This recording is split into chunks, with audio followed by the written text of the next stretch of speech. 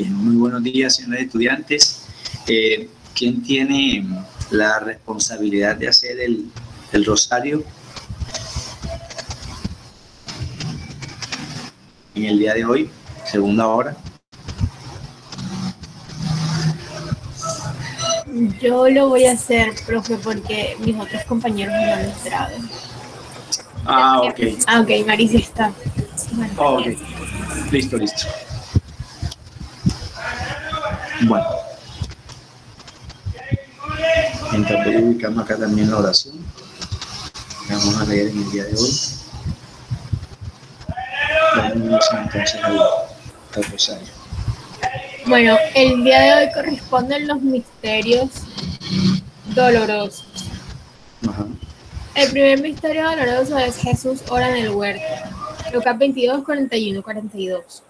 Doblando las rodillas, oraba diciendo, Padre, si quieres, aparta de mí esta prueba. Sin embargo, que no se haga mi voluntad, sino la tuya. Este misterio queremos ofrecerlo por Colombia en general, que está pasando por un momento difícil. Hay muchas personas que han perdido la vida por distintos motivos, no solo por el COVID. Entonces queremos pedir por todos ellos, por sus familias y para que los dirigentes de nuestro país hagan lo que sea mejor para el pueblo colombiano. Padre nuestro que estás en el cielo, santificado sea tu nombre. Venga a nosotros tu reino, a ese Señor tu voluntad, tanto en la tierra como en el cielo. Danos nuestro pan de cada día. Perdona nuestras ofensas, que nosotros a los que nos ofenden. No dejes en la tentación y líbranos del mal. Amén. Dios te salve María, llena eres de gracia, el Señor es contigo, bendita tú eres entre todas las mujeres, y bendito es el fruto de tu vientre Jesús. Santa María, Madre de Dios y Madre nuestra, ruega por nosotros los pecadores, ahora y en la hora de nuestra muerte. Amén. Dios te salve María, llena eres de gracia, el Señor es contigo, bendita tú eres entre todas las mujeres, y bendito es el fruto de tu vientre Jesús. Santa María, Madre de Dios, ruega por nosotros pecadores, ahora y en la hora de nuestra muerte. Amén. Dios te salve María, llena eres de gracia, el Señor es contigo, bendita tú eres entre todas las mujeres, y bendito es tu vientre Jesús. Santa María, Madre de Dios, ruega por nosotros pecadores, ahora y en la hora de nuestra muerte. Amén. Dios te salve María, llena eres de gracia, el Señor es contigo, bendita tú eres entre todas las mujeres, bendito es el fruto de tu vientre Jesús. Santa María, Madre de Dios, ruega por nosotros pecadores, ahora y en la hora de nuestra muerte. Amén. Amén. Dios te salve María, llena eres de gracia, el Señor es contigo, bendita tú eres entre todas las mujeres, y bendito es el fruto de tu vientre Jesús. Santa María, Madre de Dios, ruega por nosotros los pecadores, ahora y en la hora de nuestra muerte. Amén. Dios te salve María, llena eres de gracia, el contigo, bendita tú eres entre todas las mujeres, y bendito es el fruto de tu vientre Jesús.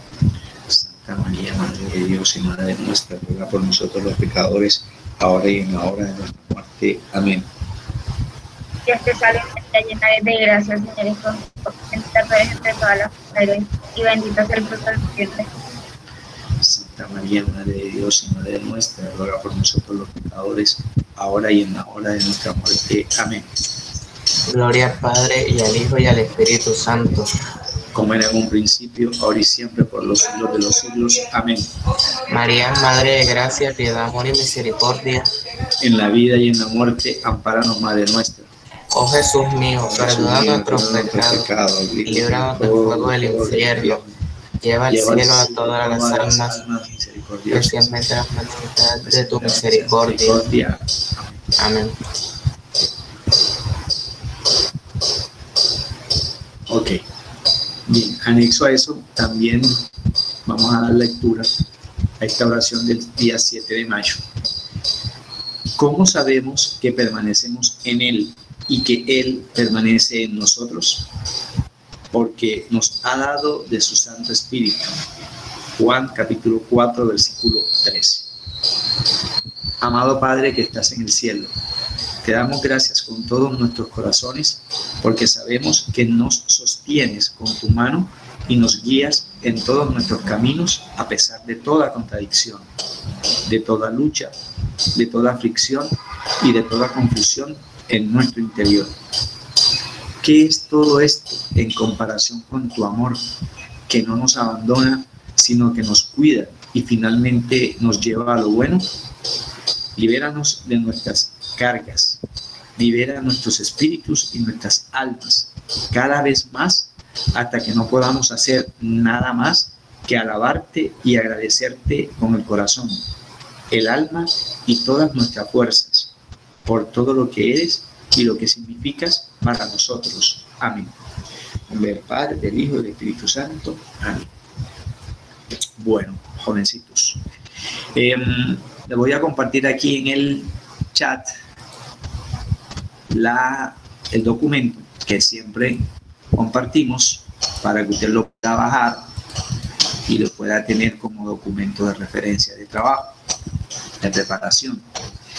Eh, en el chat le compartí y voy a compartir acá también desde la pantalla inicial.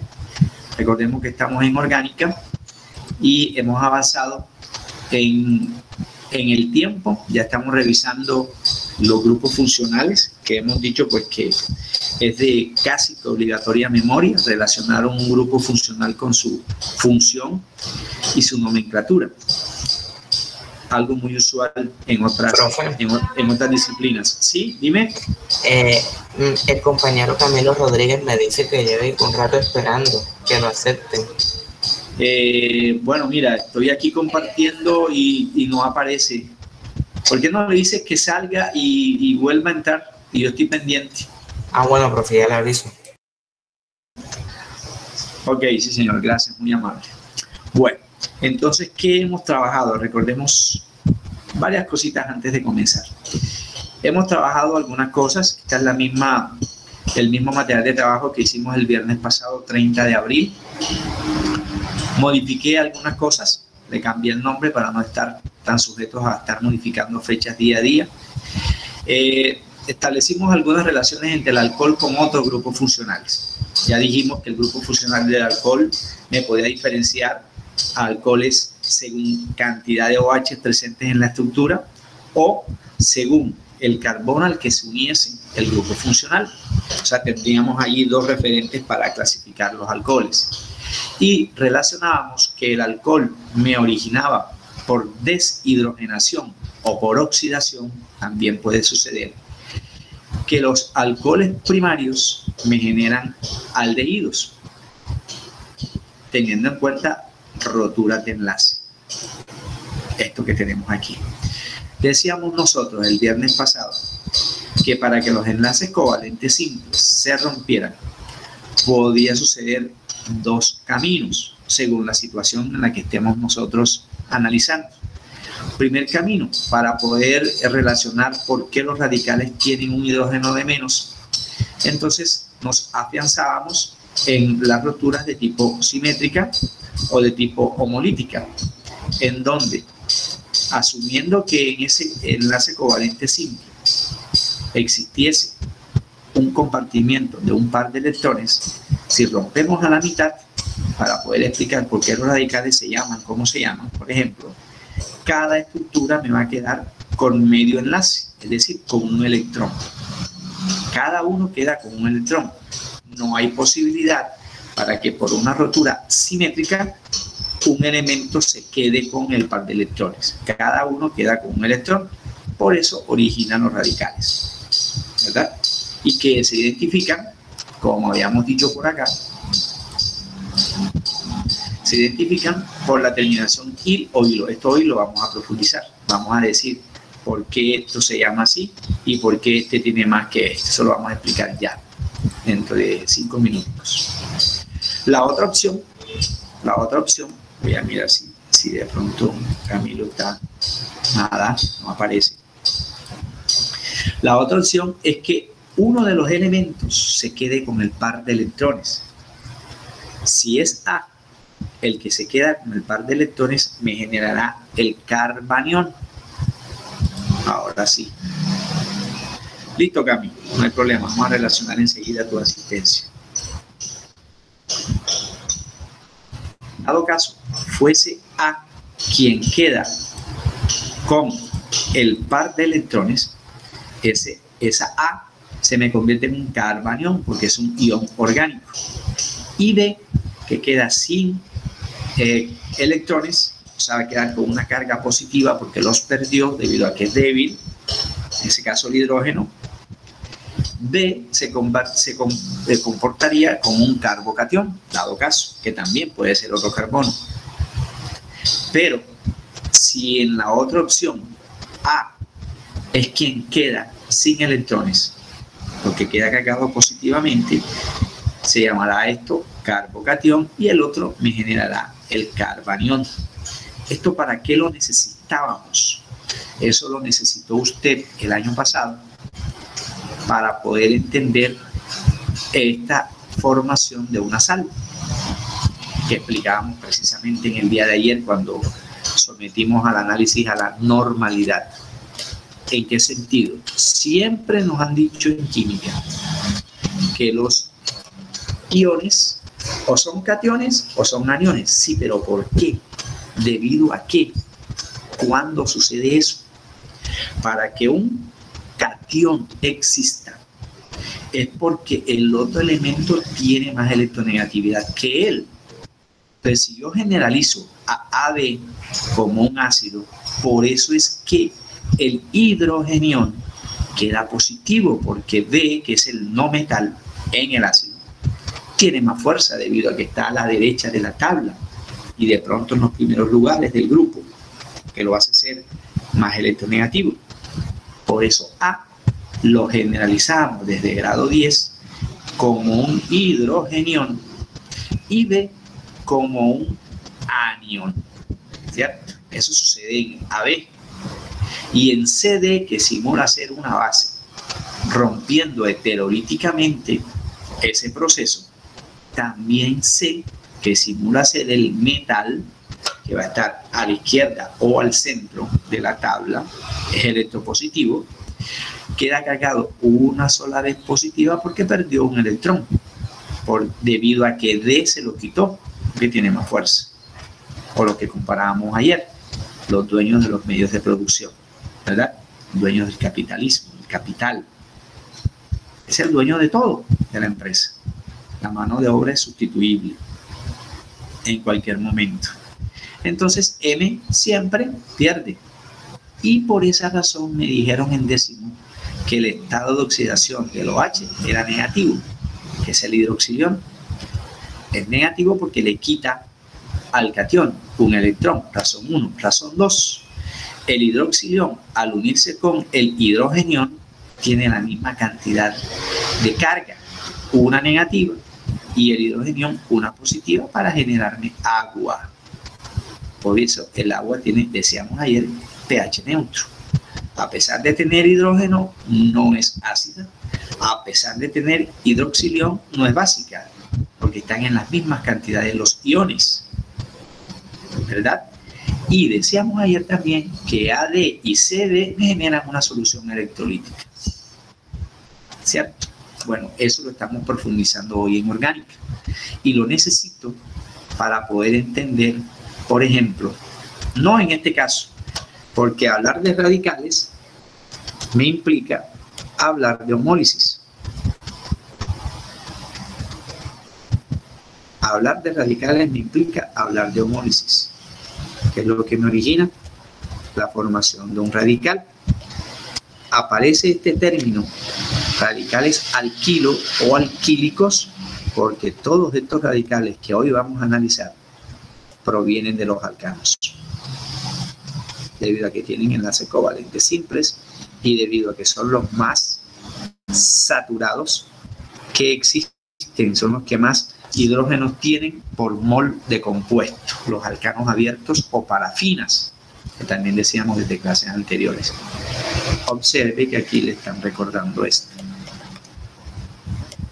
Que la fórmula o expresión general de un alcano abierto es NH2N más 2. También estuvimos hablando en días pasados de esta estructura, asumiendo que la N en orgánica no significa número de moles, significa número de carbonos. lo multiplicamos por 2 y lo sumamos por 2 para poder hallar la fórmula molecular correcta de cualquier alcano abierto.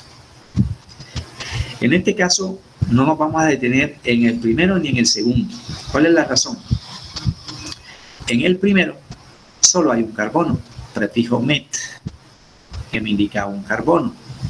O sea que este señor viene de una estructura, ya lo habíamos dicho en clases anteriores, estamos recordando, que se escribe molecularmente CH4 si yo aplico esta expresión. La N es un 1, no se escribe. 2 por 1, 2 más 2, 4. Entonces, perder un hidrógeno se me convierte en CH3 y el nombre tiene dos partes. El prefijo que me indica cantidad de carbonos, met, y el sufijo que me indica radical, porque tiene un hidrógeno menos que de donde proviene, CH4. La misma explicación para el siguiente radical. Como el etano tiene dos carbonos y seis hidrógenos, al aplicar la fórmula que tenemos allí de recorderis, en la n por 2, 2 por 2, 4 más 2, 6. Pues tiene dos carbonos y los dos carbonos son iguales porque ambos son primarios. Yo no puedo decir eso en el metano. Yo no puedo decir que el carbono del metano es primario porque hay un único carbono. Y para que exista un carbono primario mínimo debe estar unido a otro carbono. Así que el metano no tiene carbonos primarios, tiene un único carbono que es distinto. Donde empiezan a existir carbonos primarios es en el etano. ¿Cuántos? Dos. Y como los dos carbonos son iguales, el rompimiento va a ser igual en cualquiera de los dos. Me va a originar esta estructura. Mira que tiene seis. La estructura de donde viene el radical tiene cinco. Es posible que por allá en otro pre-ICFES o si estás leyendo para resolver las preguntas del proyecto que estamos trabajando, es probable que te encuentres con esta fórmula molecular C2H5. También sirve. Fórmula molecular. Pero hay que colocar el punto. CH2, C2H5 punto para indicar que es un radical o para recordarme. Porque como tiene un hidrógeno menos, si lo comparo con este pero ya a partir del 3 y del 4 se me cae el carriel al decir, no, eso es lo mismo, falso. Esto lo vamos a justificar acá porque hay que explicar un montón de cosas que ya yo he ido colocando para ahorrar tiempo. Por ejemplo, si analizamos la raíz prop en el siguiente y analizamos met, analizamos et, nos toca analizar prop, que es tres carbonos, si aplicamos esta fórmula que recién recordamos, CNH2N más 2, entiendo por qué los 8 hidrógenos. Reempláseme la N por 3, 2 por 3, 6, más 2, 8. Aquí sí tengo que analizar varias cosas. Primero, cuántos carbonos primarios tiene el propano y diríamos dos. Este y este. Son iguales tiene el mismo número de hidrógenos. Cada uno tiene tres, entonces son iguales. Da lo mismo romper en este carbono primario que romper en este carbono primario. O sea que este me va a dar un único radical. Este que tenemos aquí. Aquí encerradito. Y el otro lo analizaremos ahorita. Como de los tres hemos dicho que hay dos primarios, el único secundario es este señor. Ahí donde voy a dejar el punto verde. Es el único secundario que existe. No hay una alternativa de para organizar, para organizar tres carbonos. No hay una forma ramificada para organizar tres carbonos. No la hay. Cosa que no puedo decir. Cosa que no puedo decir en este señor. Que va a tener un mayor número de radicales que el butano por varias razones que ya vamos a analizar. Si hacemos la fórmula estructural, me doy cuenta que este carbono tiene unido tres hidrógenos. Entonces va a ser lo mismo si rompemos aquí en el inferior o en el de su derecha una sola vez, porque el radical tiene un hidrógeno menos. Le sacamos cuenta, se hay 3 enlace simple se mantiene CH2, CH2, enlace simple se mantiene, pero aquí voy a observar que este CH2 tiene un hidrógeno menos, ahí le colocamos el punto. Y este hidrógeno, que no es carbono, entonces yo no lo voy a considerar como radical. Aquí el radical es el que tiene la estructura orgánica, o sea, carbono e hidrógeno. Por eso lo encerramos. Como el rompimiento lo hicimos en el carbono número uno, en uno de los dos carbonos número uno, el radical mantiene el número de carbonos, entonces se mantiene el número de raíz pro. Pero como tiene un hidrógeno menos, no puede terminar en ano. Se le da el sufijo il para indicar que es un radical propil. Pero resulta que por allá encuentro un sinónimo que se caracteriza por tener la misma raíz pro pues porque tiene el mismo número de carbonos. Pero el sufijo hilo, propil o propilo es lo mismo, es el nombre de radical cuando el hidrógeno menos está en cualquiera de los dos primarios. Si saco cuentas, tres carbonos, mira que se mantiene la raíz, 3, 5, 7 hidrógenos. Por eso me decían aquí en la gráfica esta estructura, mira. CH2, CH2, CH3. Si rompemos en el carbono primario, se llama propil o propilo. ¿Por qué este nombre? Que es, digamos que tiene otras dos alternativas de, nomenclatura que vamos a decir ya. Si rompemos en el secundario, en el carbono secundario, no me da lo mismo. Vamos a explicar lo que me está diciendo la gráfica o la tabla. El carbono de inicio no me interesa porque ya lo hicimos, que es el primario. El carbono de la terminación tampoco me interesa, porque también es primario. Me interesa el secundario, que sería este. Bueno, no me, no, no me coloque eso muy arriba. Y me interesa que analicemos esto. Tiene la misma fórmula molecular que de donde provenía 3, 4, 5, 8. Aquí no es radical todavía. El radical existe cuando usted me dice, bueno, entonces rompamos aquí. Igual arriba. Lo que pasa es que no lo hicimos porque no me dio el espacio. ¿Qué me va a producir? CH3 que no participa en este segundo radical. CH3 que tampoco participa en ese segundo radical. Los enlaces, que sería este y este, escribir ese tres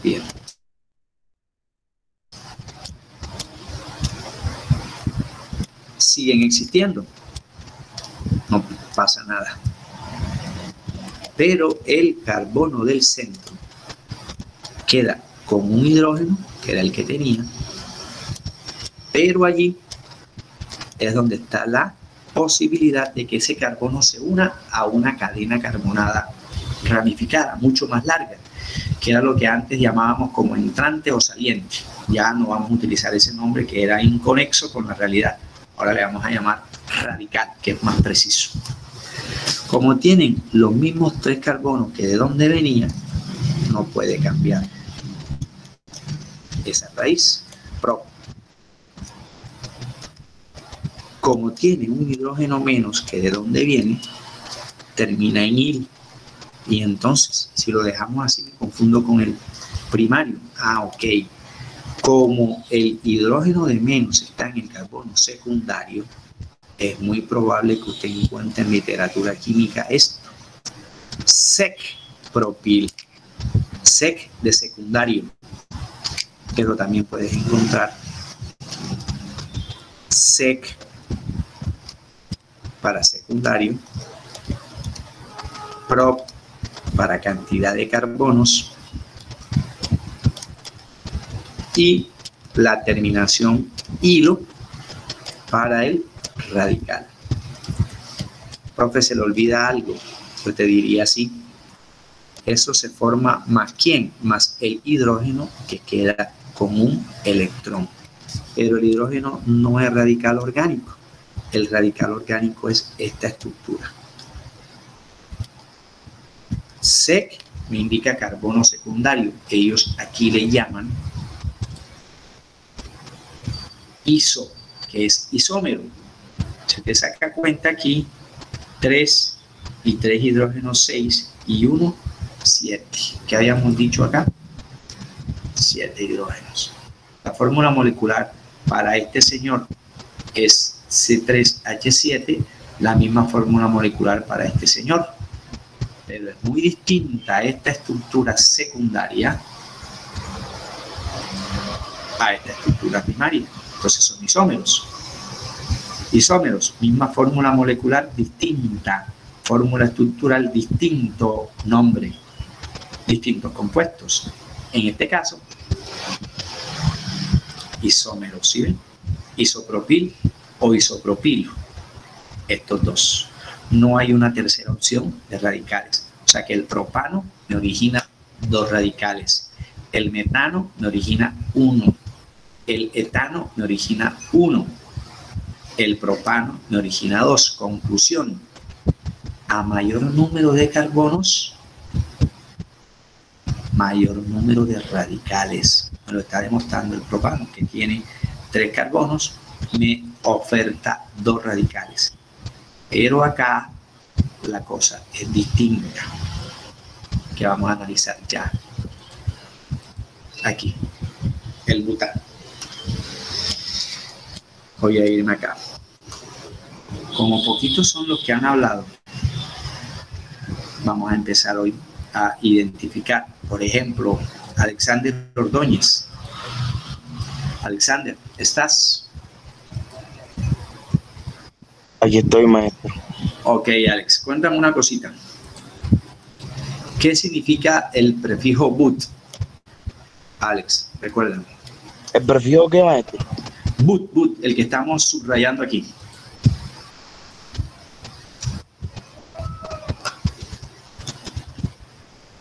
¿Qué significa ese prefijo but?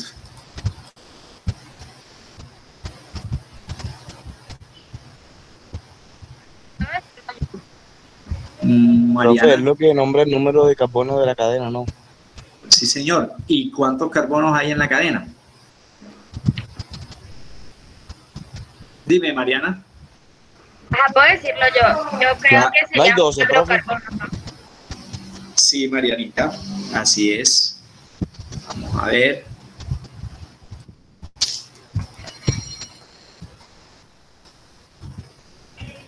Ok, Mariana. Mariana, y si hay cuatro carbonos, ¿cuántos hidrógenos hay? Yo creo que serían los 12 que dijo Alexander. Los 12. Los mismos, profe. Ah, Eh, bueno, si hay cuatro Profe, carbonos como... 12, Profe, Sí, pero no son 12. eh, ¿puedo Mira. decirlo yo? Mire, eh, ¿quién me habla? ¿Quién me habla? ¿Quién me habla? ¿Quién me habla? Dime, Joan. para complementarlo, serían 10. Sí, señor. Sí, señor. Son 10. Muy bien, Joan. Ojo. But me indica cuatro carbonos. ¿Cierto? Si usted utiliza esta expresión CN H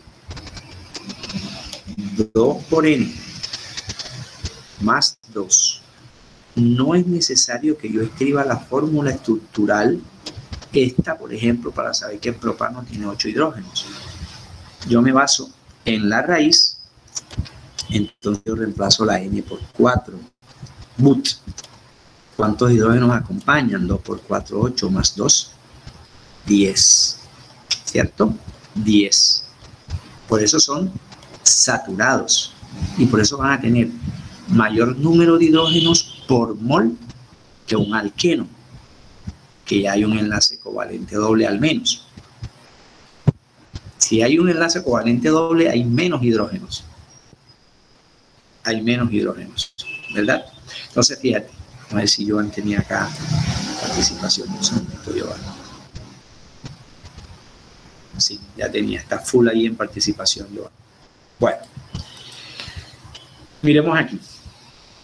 Si hay cuatro carbonos, tienen que haber 10 hidrógenos. Fórmula molecular C4H10. O sea que cualquiera de los radicales que vamos a analizar ya va a tener 9 hidrógenos y los mismos cuatro carbonos. ¿Todos los radicales son isómeros? Sí. Si es del mismo origen. Obvio, porque si usted me dice, profe, venga acá, eh, los radicales del butano son isómeros de los radicales del propano. Jamás, porque el propano tiene tres carbonos y el butano tiene cuatro. La isomería se establece en el mismo número de carbonos. En el mismo número de carbonos. Entonces yo, de estos cuatro carbonos, puedo analizar dos tipos de cadena. Esos cuatro carbonos yo los puedo organizar de manera lineal. Y hay una opción para analizarlo de manera ramificada. ¿Y por qué no dijo eso mismo en el propano? Porque el propano no tiene una opción ramificada para tres carbonos. La opción ramificada empieza a aparecer donde existan más de un carbono secundario. En el caso del butano, porque en la lineal usted me dirá, profe, existen dos carbonos primarios y en la lineal existen dos carbonos secundarios.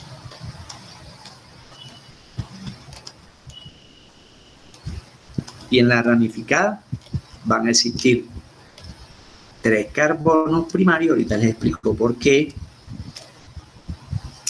Perdón. Tres carbonos primarios para ahorrar allí abreviaturas. Y un carbono que terciario. ¿Cómo así? Expliquemos eso primero. Porque si no entiendo esto, no voy a diferenciar entre estos nombres, aunque ya sé lo que significa SEC.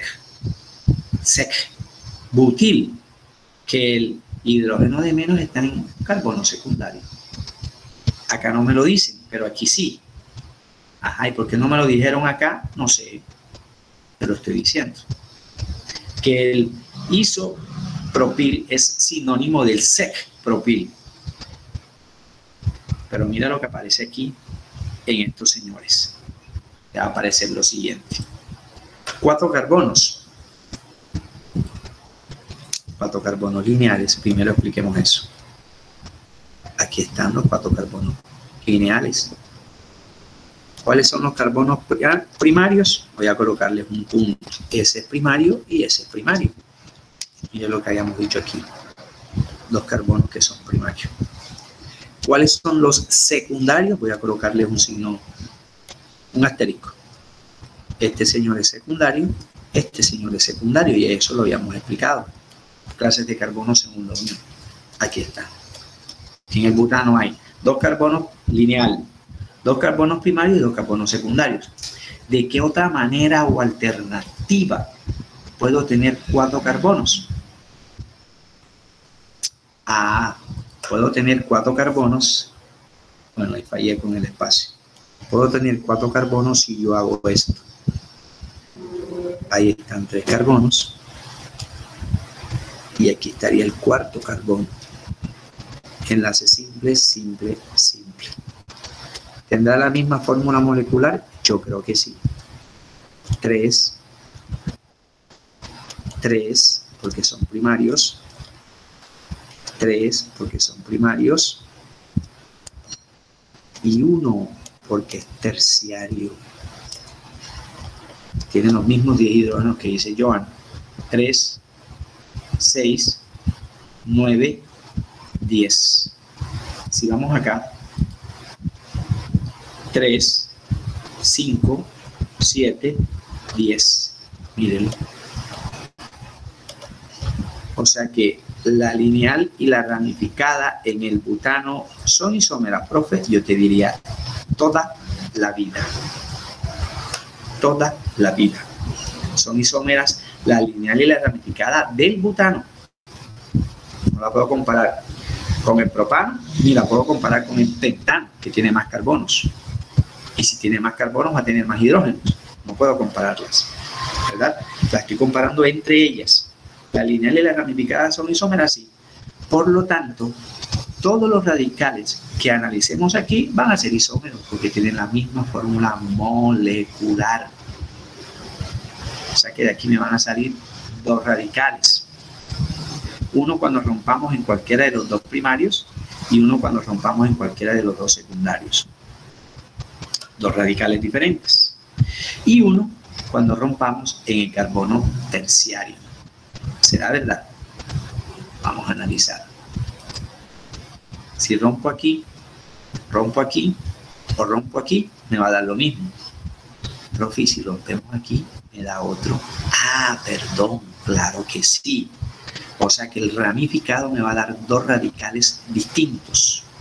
En cualquiera de los primarios o en el terciario. Por eso me salen cuatro radicales. Dos ramificados y dos lineales, que son los que vamos a explicar. Y por eso me voy a apoyar para ahorrar tiempo en la gráfica, que ya les había bajado aquí. Miren, por ejemplo, si rompemos en cualquiera de los dos carbonos primarios en la lineal, miren la lineal, me va a dar un solo radical. ¿Cuál? Butil. El prefijo but me indica cuatro carbonos y el sufijo il me indica un hidrógeno menos. 2, 4, 6, 9. En cambio, el butano es C4, H10, lo acabamos de recordar y lo acabo de decir Joan, acá, y Olivares, ¿verdad? 10. No hay ningún problema. Conclusión. Cuando escuche propil, butil, pentil, exil, es cuando el radical pertenece al carbono primario. Siempre va a ser así, primario. Pero si el electrón de menos está en cualquiera de los dos secundarios, voy a cambiarle aquí el color a esto, para hacerlo más notorio, en cualquiera de estos dos secundarios, la fórmula va a ser igual. Sí, pero la estructural no. Mire, si usted me compara esto con esto, es lo mismo. Estructuralmente, molecularmente sí, pero estructuralmente no. Ya aquí el electrón de menos está en la cadena del carbono número 2 secundario. Aquí están los dos radicales lineales. Ahora, si el hidrógeno de menos está en el carbono terciario, mira, terbutil. Ter viene de terciario, así como sec viene secundario. Y aquí no me dicen, si no me dicen asuma que está en el carbono número 1. Cuando no me dicen dónde está, está en el carbono número 1. ¿Cierto? Terbutil, mire, el hidrógeno de menos. Los mismos nueve hidrógenos que tiene este, los mismos nueve que tiene este, los tiene este señor terciario. 3, 6, 9. Aquí había un, un hidrógeno antes, ya no lo hay. ¿Sí ves? ¿Cuál hidrógeno antes? Mírelo. Miren, ya no lo hay. Si no lo hay, aquí existe la posibilidad de unirse a una cadena ramificada. ¿Qué es lo que nos está esperando? ¿Cómo nombramos en una cadena ramificada? ¿Cierto? Terbutil. Ahora, si rompemos en la ramificada, ya no en la lineal, mira. Si en la ramificada rompemos en cualquiera de los carbonos primarios, mire, 3, 3, 2, y aquí aparece el hidrógeno que no está aquí. Aquí el hidrógeno de menos acá en un carbono primario. Le llamaremos a esto isobutil, porque este ramificado es isómero de este, es isómero de este y es isómero de este. Tienen los mismos nueve hidrógenos. 3, 6, 8, 9. Entonces, el butano, este señor me va a dar cuatro radicales distintos, dos lineales y dos ramificados, lo que habíamos analizado acá. Dos lineales y dos ramificados. El ramificado, cuando rompamos en el carbono terciario o cuando se rompa en cualquiera de los carbonos primarios. Y la cuenta sigue con el pentano. El pentano entonces va a tener mayor número de carbonos secundarios. Claro, tiene tres. Entonces hay posibilidad de que en cualquiera de esos tres me origine el mismo radical. Y hay dos carbonos primarios. Entonces ya la lineal me va a originar dos radicales. ¿Y cómo organizo cinco carbonos ramificados? Mire, ahí tenemos tres,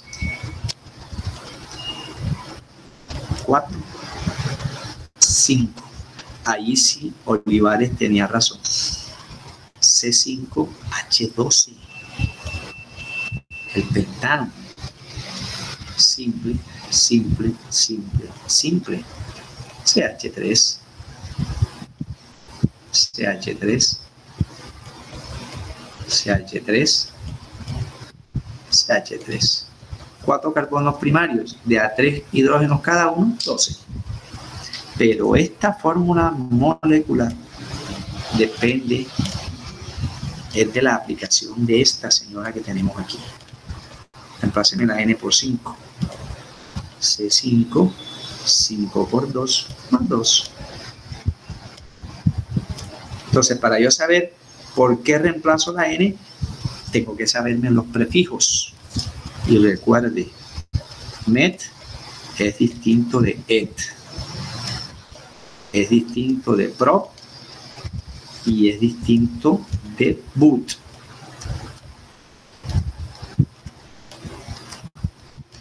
Y de todo lo que viene después. Paint, X, y como nosotros estamos en grado 11, un DEC, ¿cierto? Va a tener más carbonos secundarios que el decano, que el nonano, que el octano, que el heptano, que el hexano, que el pentano y así sucesivamente. Y a mayor número de carbonos, mayor probabilidad de originarme radicales. De originarme radicales. Bueno, me pasé en dos minutos con ustedes. En ese sentido, jóvenes, eh, vamos a buscar aquí la manera de conectar eso que sabemos de décimo con, con el rompimiento de enlaces y por qué se forman las cosas. Aquí no es necesario que yo me memorice, ah, es que un alcohol y un éster me genera un ácido. Sí, pero ¿por qué? Porque la fermentación de una fruta demasiado madura, muy, muy, muy madura, en lugar de ser agradable al sabor, es repelente. ¿Qué sucede ahí químicamente? Todas esas cosas las vamos a ir profundizando a medida que vayamos ingresando a otros nuevos escenarios que me exigen clases anteriores. Les agradezco muchísimo por su tiempo, que Dios me los bendiga, cuídense, que tengan un feliz fin de semana